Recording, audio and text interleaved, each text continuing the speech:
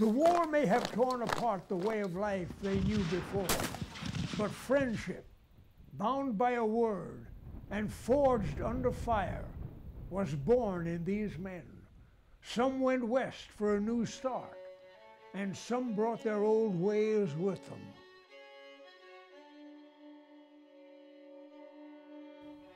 Territory covers east of here. Colonel, your guests have arrived. Show them in, Mr. Cahill. Show Very 'em good, in. sir. Folks, if you would please. I will require your full attention. Would you please escort Miss Timberlake back to her hotel, please, Mr. Cahill?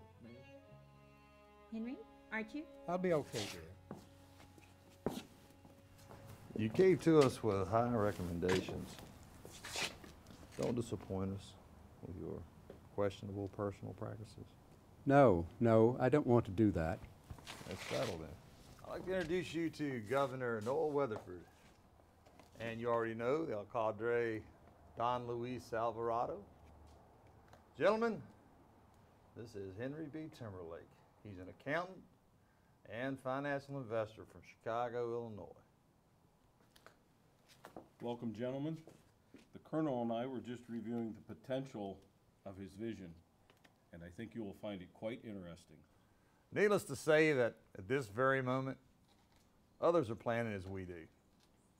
With an eye towards future interest and expansion, time is of great importance.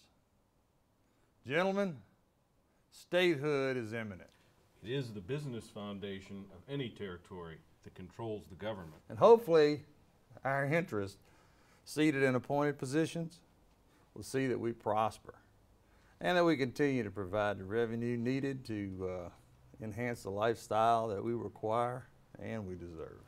Don Luis, you control this area to the southwest of here. Governor Weatherford's territory covers east of here.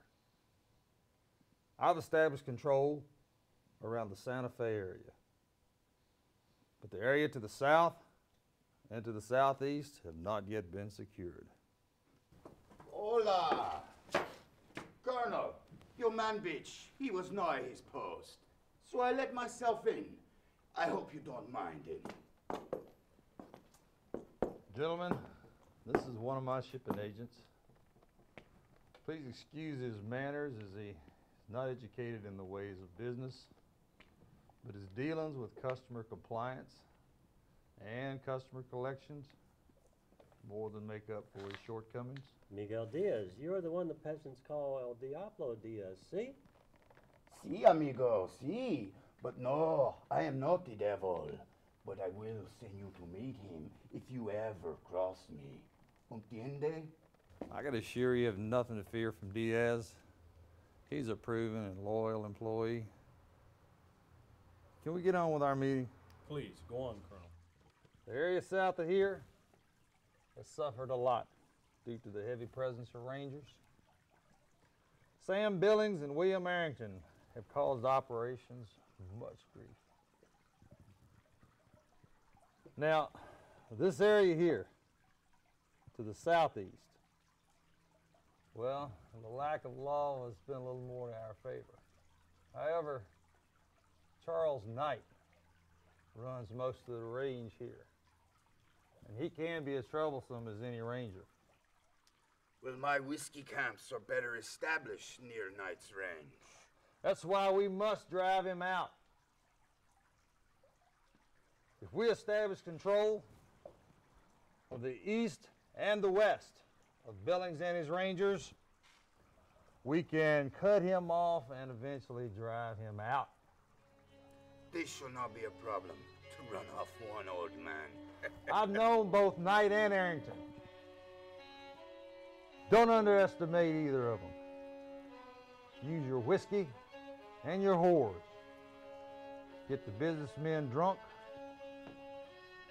get them lustful, and we will own these towns. It sounds if, if you're driving them into slavery. Sin shall be their downfall, Mr. Timberlake. Great leaders are born, the souls of the weak. Ah! Gathering souls. That's my job.